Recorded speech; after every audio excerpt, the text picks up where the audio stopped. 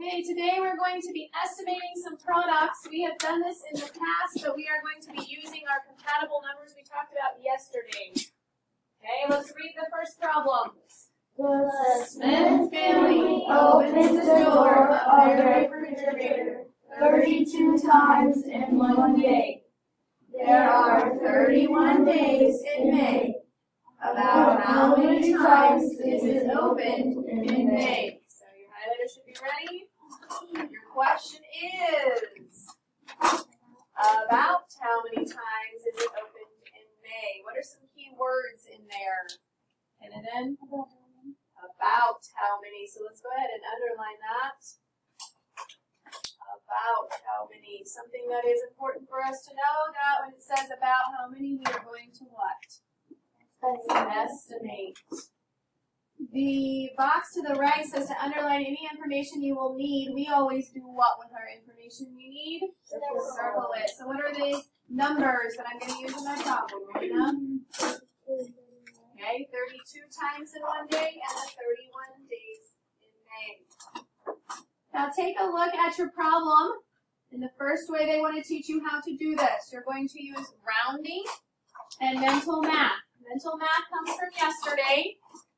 So you're going to estimate 32 times 31. And we are going to do step one, which is round each factor. What are they rounding 32 to? 30.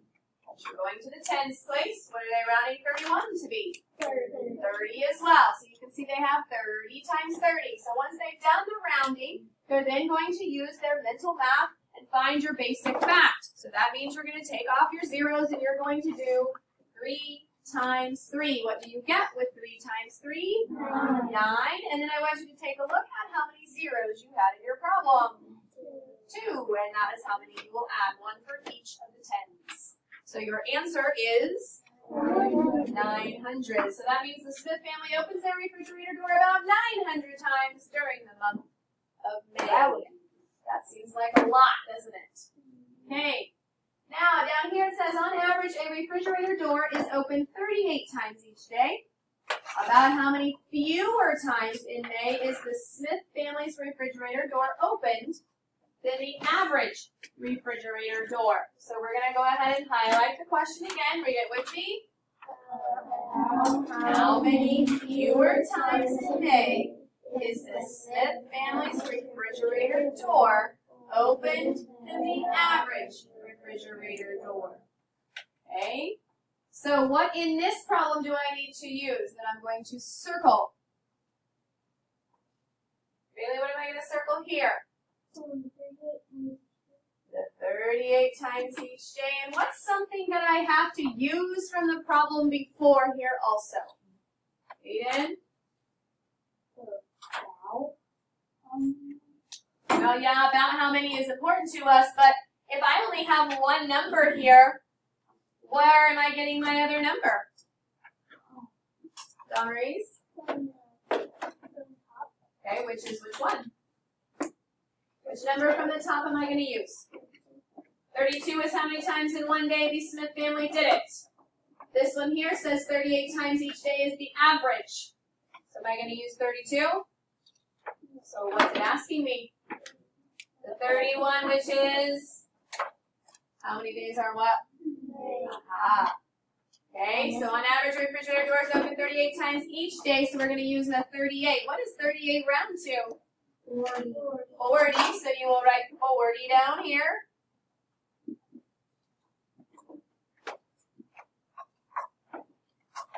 We're going to put the multiplication problem here. And then what am I rounding my 31 to be? 30, which is what we had already rounded, so we didn't really have to round again, right? Mm-hmm. Yes. So what's my basic fact here? 4 times 3, which gives me? 12. And how many zeros am I looking at in my problems? 2. Make sure that we get our comma in there. So that is what it would be on average in May, which is 1,200. But what was our question?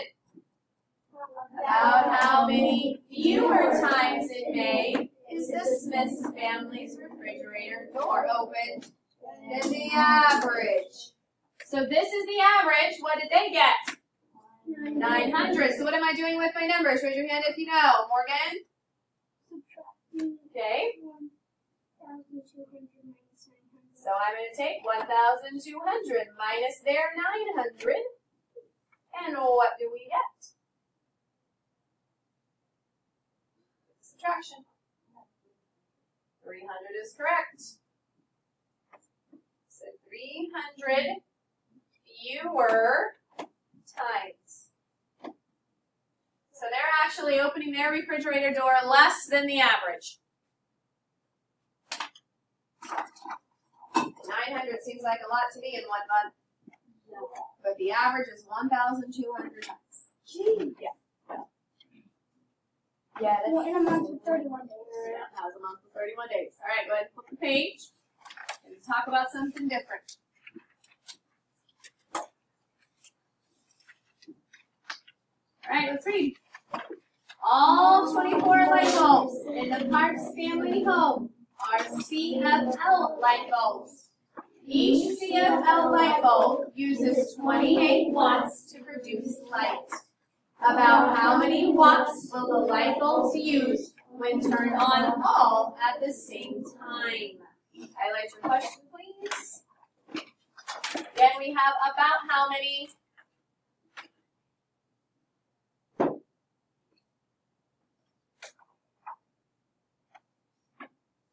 Ian, can you tell me the numbers I'm going to use out of my problem this time? 24 light bulbs and 28 watts. So now we're going to learn what the compatible number thing is all about. We use compatible numbers. We know that they are numbers that are easy to compute mentally. I showed you a couple of examples yesterday. So today our estimate is 24 times 28. We need to make sure we get those estimated before. So 24, what did they estimate it to be? 25. Can somebody tell me why you think they went to 25? Cheyenne?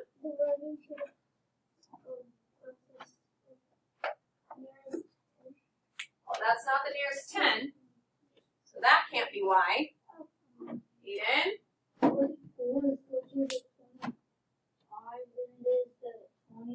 Okay.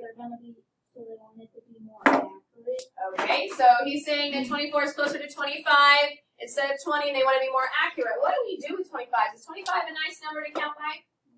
Yeah, we know that we use it to count to 100, right? So 25 is something easier, all right? So they went ahead and went to 25. There's no problem with going to 25 instead of 20, okay? It's actually closer, and like Aiden says, it's going to be more accurate. You're going to get a closer estimate. And then they took the 28 and they rounded to 30, okay? Is everybody with me on why we did that for 24? Notice that they only did that for one of the numbers. Okay? So now we're going to think 25 times the 3. So if we know anything about 25s, we know that we count one at a time. So 25, and then you say, and then 75. So 25 times 3 would be 75, and then I would have to add what to that? A 0. So you're going to have 750. I can figure out my eraser here. 750. Okay. Everybody kind of understand what they do with compatible numbers? It's 24, it's very close to 25, and the 25 is easy to count by. Okay? All right, let's try some more down here then. We're going to estimate 26 times $79. So we're going to round to the nearest 10 on the first one, and in the second one, we're going to do the compatible. So they're going to show you how to do the same problem using two different strategies. So what is 26 rounded to the nearest 10? Brayden? So we'll put 30 in there. 79 rounded to the nearest 10 is what? Chase? 80. 80, so we'll fill that in down here. Find your simplified fact of 3 times 8, and I get 24. How many zeros do I have? There are two because you have one in the 30 and one in the 80. So if some of you need to make sure that you get both of those. So that means that 26 times $79 is about 2,400 what? So don't forget that dollar sign. If it's talking about dollars in there, you need to make sure you have that also. Okay, now let's go over here and let's do the same problem. This time we're going to do the compatible numbers. So they're rounding 26 this time to what? 25. 25. Then do they still have 80 for the 79? Yes, they do. So now we're going to take the 25 times 8. Now, you know that 25 times 4 from a couple chap or lessons ago that you did 25 times 4 was what? 100. So if 25 times 4 is 100, what's 25 times 8? 200. Is everybody with me on this? Okay? So I'm going to go ahead and put the 200 here. Yes? Mm-hmm. How many zeros am I going to add? One. Okay? So we know now that using compatible numbers, 26 times $79 is about $2,000. So I want you to look at the differences between them. Okay? So then we're going to answer some questions. Explain to me why 2,400 and 2,000 are both reasonable estimates. Well, they're close. What else could we say, Don Reese? He took yours. I want you to go back and look the, at the original factors that you started with. Are those numbers that you chose to round and to use compatible numbers still close to that factor? Yeah, we couldn't get too far away. 26 to 30 isn't too far away. And then 79 to 80 is only 1. When I did compatible numbers, 26 to 25 was only 1, and 79 and 80 was only 1. Yes? So if we use our regular factors or go back to our original factors, you're going to see that they're both pretty close to that. So we're going to say both estimated products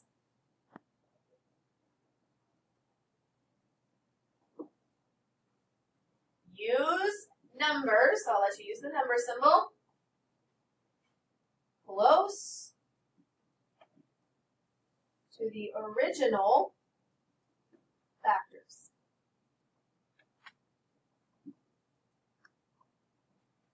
So both estimated products use numbers close to the original factors.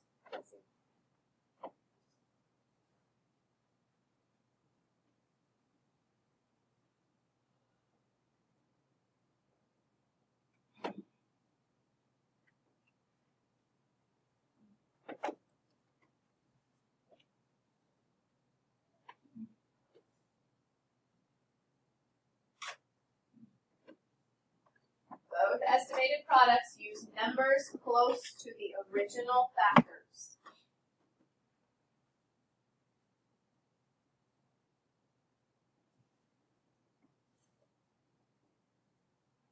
As we looked at it, you could see that this number is 4 away from 30 and 1 away from 80. This is 1 away and 1 away, so which one is closer to the exact amount? The second one, because it has closer estimates. Um, if it's a number that's not actually close, like twenty-five, how would you do it? Oh, you wouldn't use probably wouldn't use compatible numbers if it's farther away from 25. Does that make sense? So if it was 28, you're going to use what? The rounding. Yep, good question. All right, let's talk about this next one. And this is kind of something you get to think about. There's not just one situation that would work here. I want you to think about in what situation might you choose to find an estimate rather than an exact answer. So think about when in your life would you need to find an estimate rather than finding the exact number. Talk with your group for a second.